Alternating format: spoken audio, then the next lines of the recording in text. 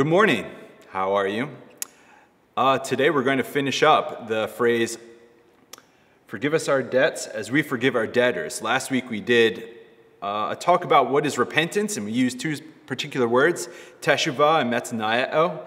And today we're going to talk about forgiveness because repentance and forgiveness go hand in hand, don't they? So I have uh, three movements that I'd like to invite you in. Now, here we go. It goes like this 13.7, then fixed, then bold faith. Are you ready? Because we're going to do this. According to the scientists, and a lot of you have been learning about this in school, or at least before COVID shut down school, the universe is 13.7 billion years old. And some people might be intimidated by that number. It's kind of hard to conceive 13.7 billion. However, to me, I find it rather quite beautiful because to me, it says, the universe is still blossoming. I like that. And it also gives me a different understanding. God is actually still active in the birth of new stars, new galaxies, there could be new species popping up at all times, and there's even new babies being born. It's like the universe is still blossoming like a flower. Isn't that great? So, why? What, what does that have to do with forgiveness? Well, I, I, thank you for asking. That's a great question. Well, some of us have a fixed mindset towards the universe that we think this is it, this is how it is, and it's a closed construct of Newtonian physics. You probably learned about that at school too, of a uh, closed system of cause and effect. But things and parts and pieces are what they are and nothing can change. Well, fixed mindsets aren't particularly Christian. To be a Christian and to actually be a church going person, especially a follower of Jesus, means that you actually have what's called a growth mindset, not a fixed mindset. And I found this really interesting graphic online that talks about here are some of the common thoughts of someone with a fixed mindset, and here are some of the common thoughts of a person with a growth mindset. Here we go. A fixed mindset person will say, Failure is the limit of my abilities. I'm either good at it or I'm not. My abilities are unchanging. I can either do it or can't. I don't like to be challenged. That's a fixed mindset. My potential is predetermined. When I'm frustrated, I give up. Feedback and criticism are personal. I stick to what I know.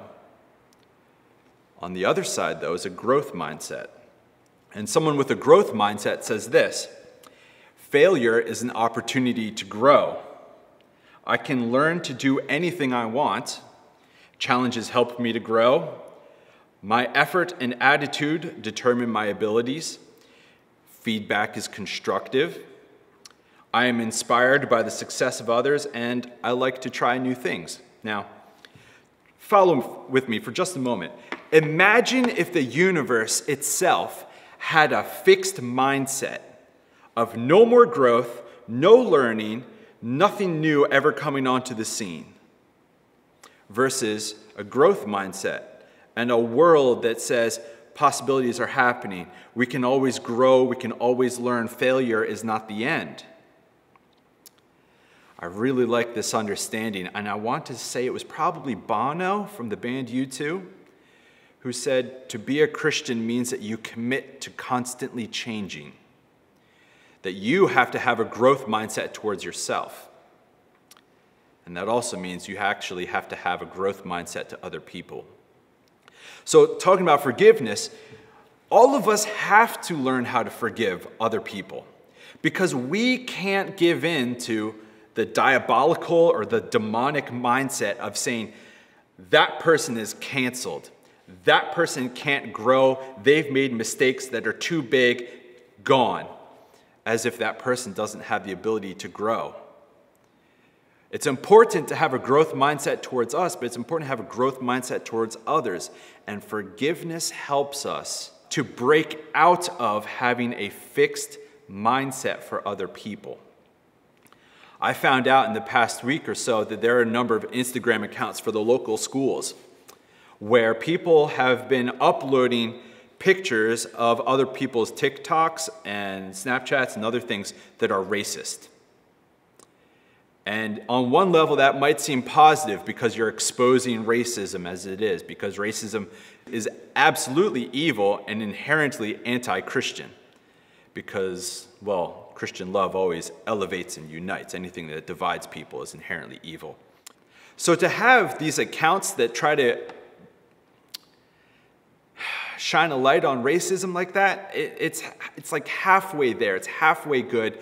But the problem I have with it is that it still assumes a fixed mindset towards other people that they can't grow, that they can't learn, as if that whole person deserves to be canceled.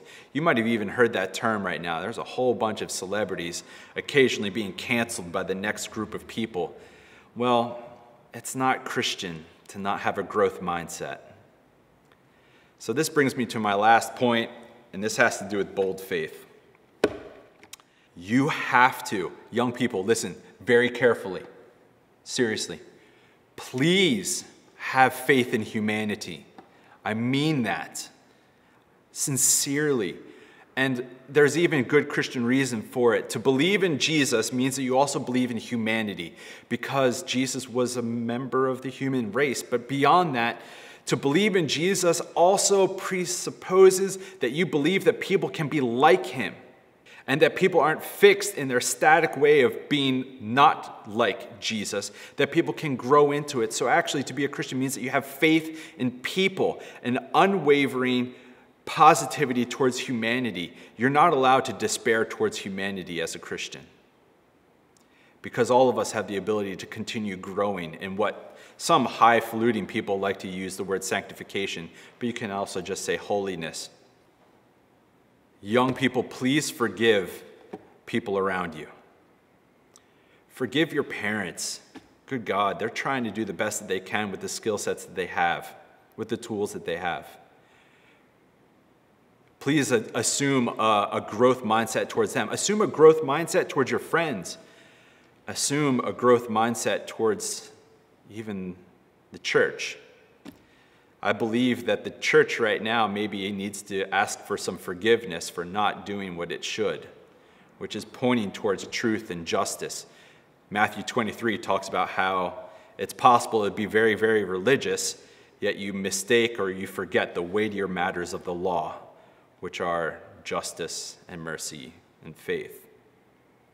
Don't give up on the church, please.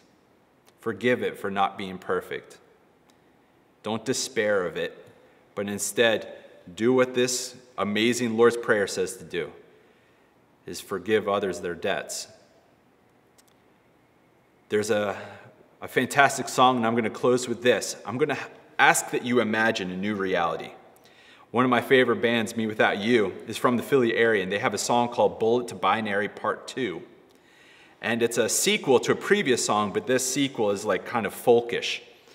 And it finishes with, Why not forgive everyone, everywhere, everything? And that's how it finishes. It just repeats that on like endless loop. Like row, row, row your boat. Why not? Let's forgive everyone, everywhere, everything. What do you think this world could blossom into if we stopped having a static or fixed mindset towards ourselves or others and just learn how to forgive absolutely freely?